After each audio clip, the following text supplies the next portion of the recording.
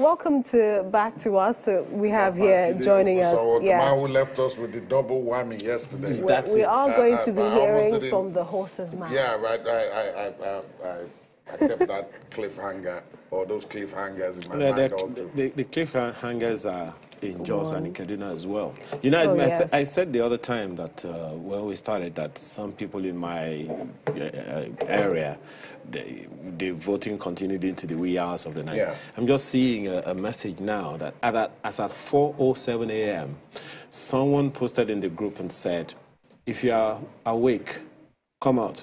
Counting is about to start." 4 a.m. No, that's lovely. That's just that's just peachy. that's just peachy. that's just peachy. Uh, J- J- uh, Jide, welcome. Um, um, we're seeing these horses again. Uh, yesterday, you pushed two of them onto the side, leaving us with one. Yes. And you said you weren't going to go further than that yesterday. So that was yesterday. Now today. So pick it up from where you left off. Yeah, and that was the white one. Yeah, we have the white one. Um, should we pick it up from where we left off, or should we pick it up from? Sadly, the horses are back. Um, we expected that by now we will know which of these horses is is leading. Uh, But you know what they say right now in Nigeria, the only thing that is more scarce than the new naira notes is the election results. Oh God, Indeed. we are such a wonderful people. quick, quick to come up with, with, with very, Telling very, you. very happy comparisons. Well, um, this morning, I'd like to share some stories with you. I'd like to start with the story of the last election results, which happened four years ago, where you had the candidate from the PDP, Atiku Abubakar, and you had the candidate of the APC. APC's um, Buhari was president, scored 15.1 million votes. Atiku, 11.2 million votes. In other words, the margin of lead was 3.9 million. The second story is what happened in 2007, Nigeria's most controversial election, when the PDP's Umaru Yar'Adua versus Buhari as well in 2007 of the ANPP.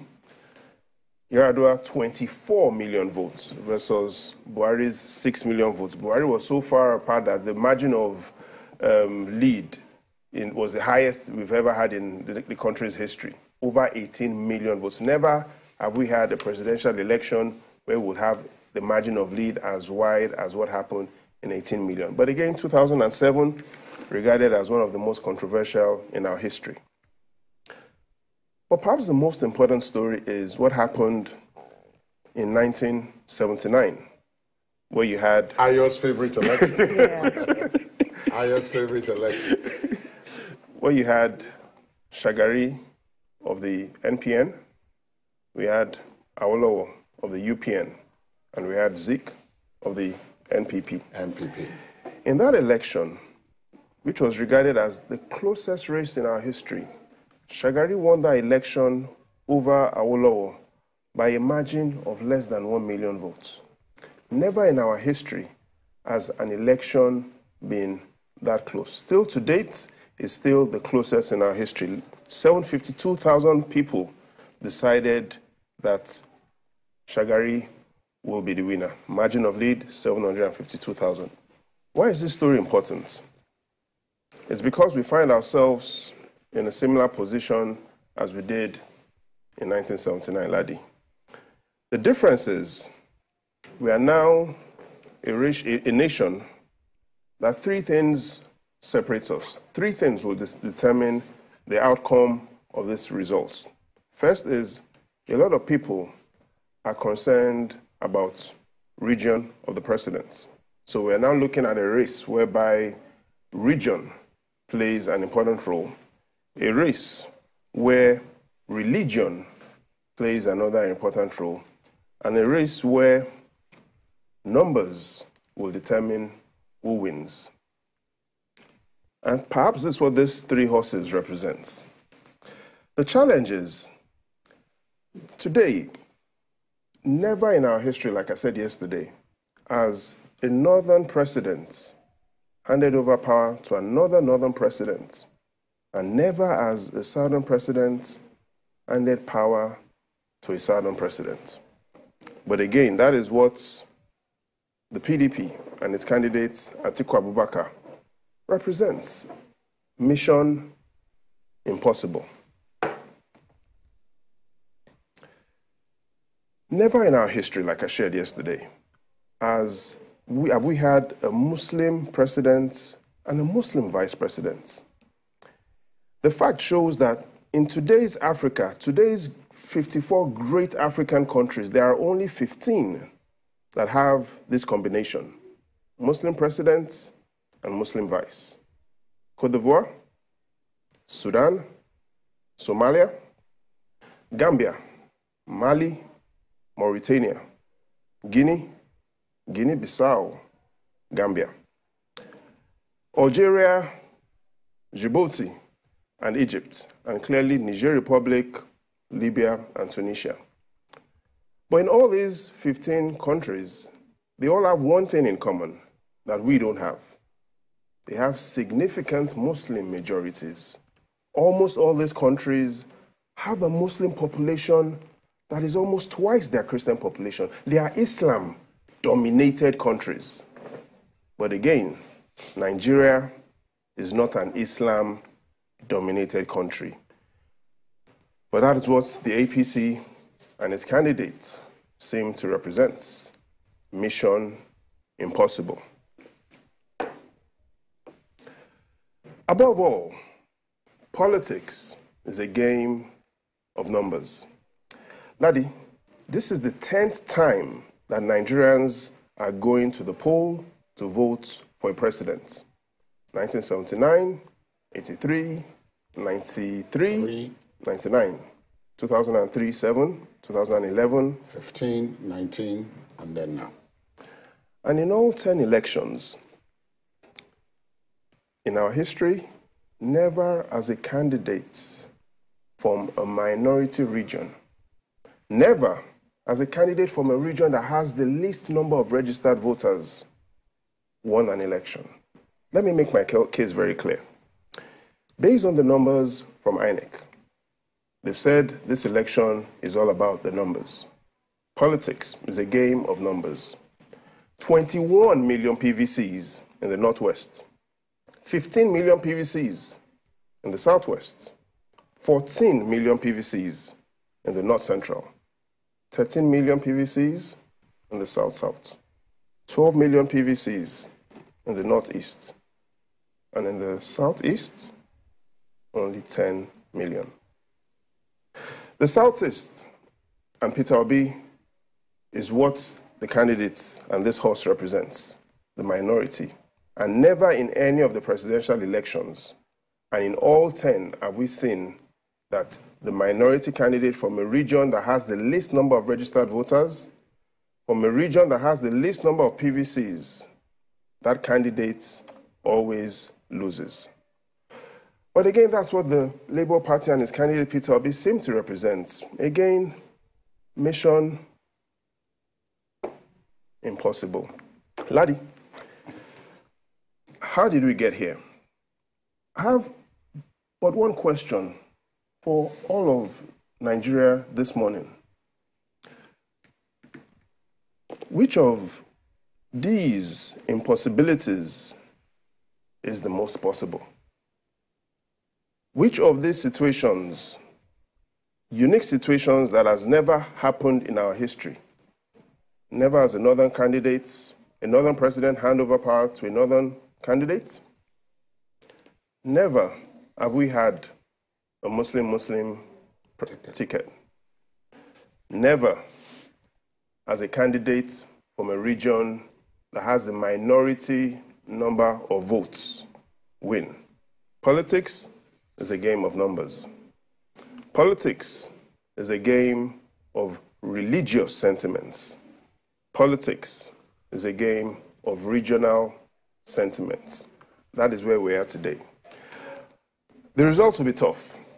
The results will be close, and there are other factors that might determine which of these horses will win. And hopefully, we'll keep sharing all these results. We'll look at the outlook the outlook might not necessarily be in terms of history, might not necessarily tell us what will happen, because most of that history was between two parties. Now we have a situation where we have three parties.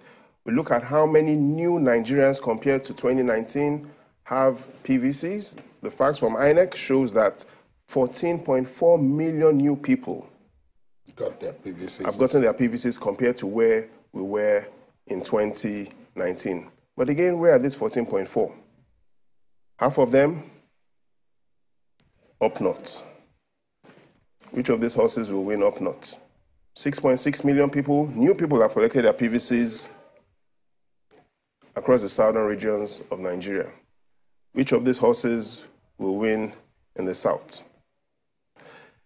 There's a lot of time for us to look at all the permutations, but it really is going to be a complicated race.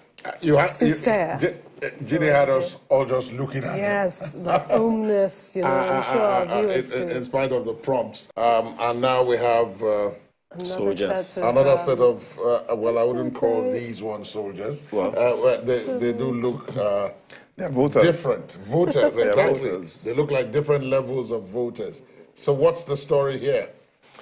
The, the story is we're trying to find out how this election um, will go. Who are those that would influence the results, Ladi? And so we're trying to visualize those on the queue. Looking at the results, they're looking at the, the fact INEC has shared, whereby they say that 87 million people have picked up their PVCs. Looking at what they said in 2019, that 72 million people have picked up their PVCs, and trying to break this down for the viewers. 72 million in 2019 PVC holders. 2023, 87 million PVC holders. Now, what it means is there are going to be very familiar faces in each polling unit, or there were very familiar faces at the polling units yesterday. In simple terms, for every 10 PVC holders, eight had PVCs four years ago. So you most likely see a queue of 10 people.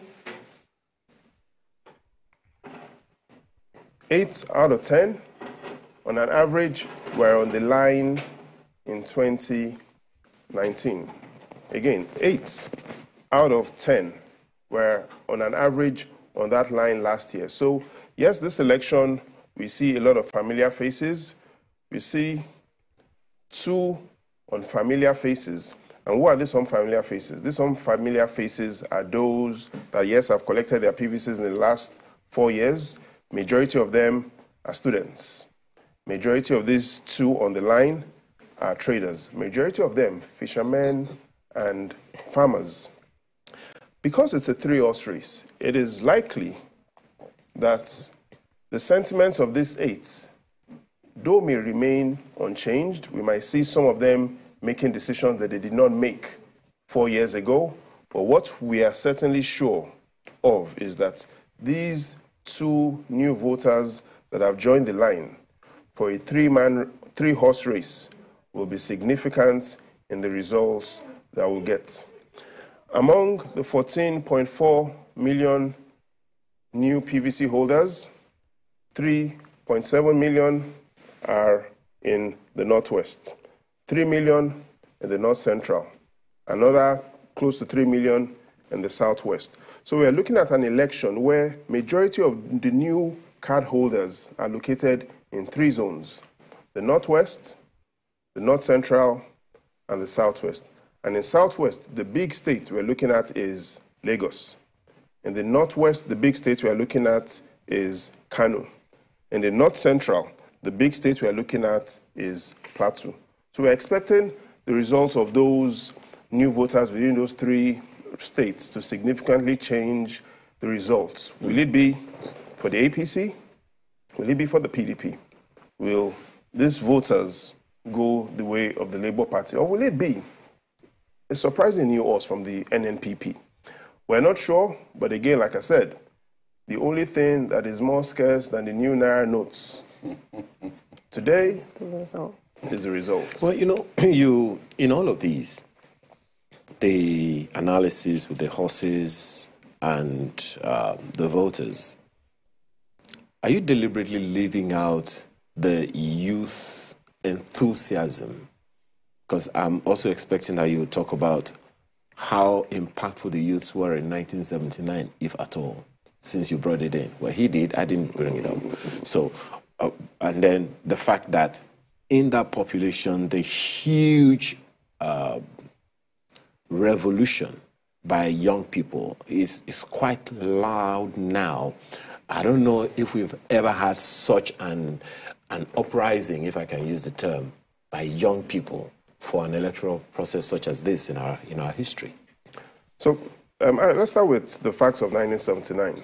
Um, three horses in 1979, but there are two reasons why that election was close.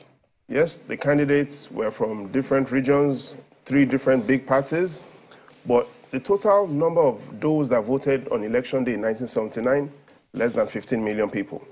So two reasons. High competition, fewer voters affected the margins between Shaga, Shagari and Awolowo.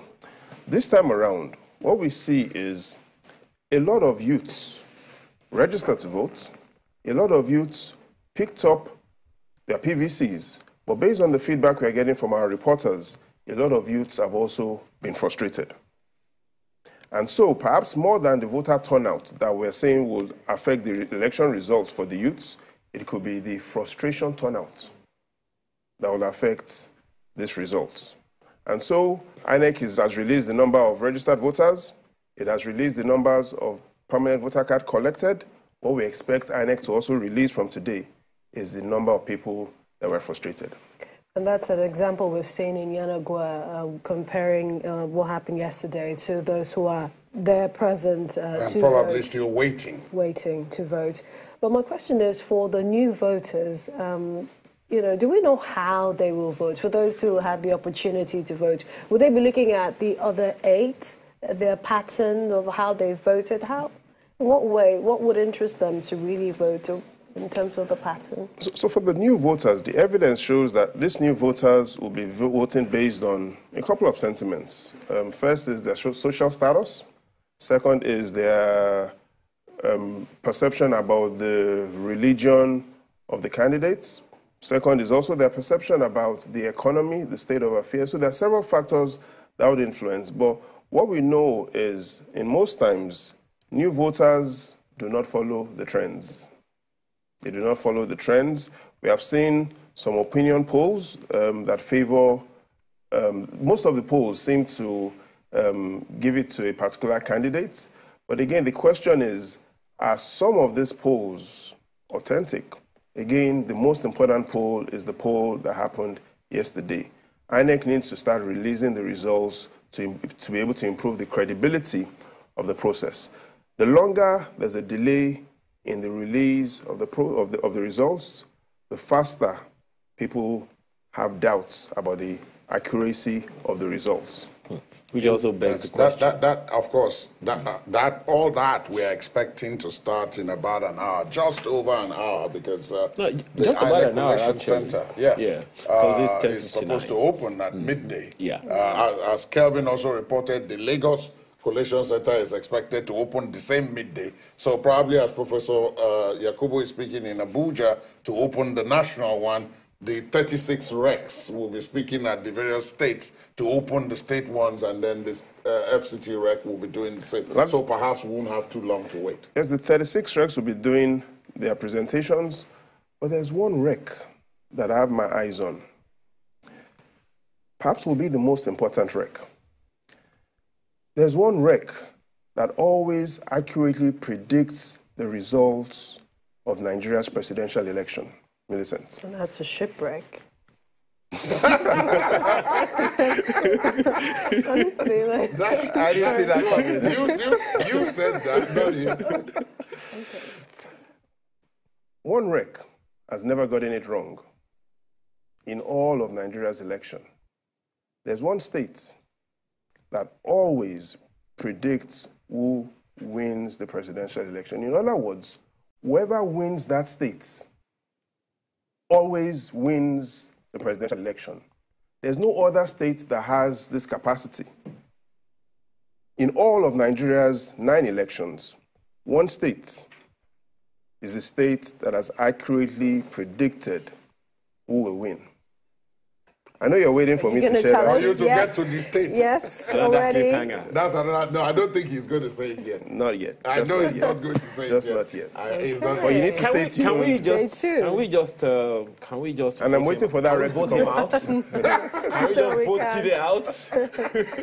No, can. thank, That's thank, a thank, void. thanks, Jide. Uh, um, I, I know that for people like Jide who, who crunch the numbers, who look at the patterns, who do the stats, uh, um, many, many of what we are discussing with guests and panelists and so on, they already have a very, very good idea uh, of you know those things. And um, this last cliffhanger is not just us who will be interested in knowing that, because if once they know that, once we know all eyes that, are there. all eyes will be on that, and once that result is called, then people will go to town, uh, which is probably why Jide is still keeping it close to his chest. Just.